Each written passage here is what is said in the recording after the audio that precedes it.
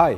بطولة حمل الزوجات أو wife carrying بدأت بفنلندا بالتسعينات وكانت معروفة ب eukonkanto وهي مستوحاة من أسطورة بتحكي عن منشقين عن القانون كانوا يقتحموا البيوت بالليالي ويخطفوا النساء عن طريق حملهم والهروب فيهم على الغابات.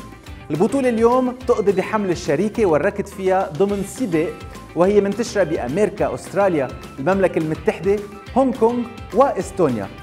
المشاركين باللعبة مش ضروري يكونوا مجوزين بس لازم تكون الأنثى فوق ال 17 سنة ولازم وزنها يكون 49 كيلو على الأقل أو بدها تحمل على ظهرها وزن زيادة.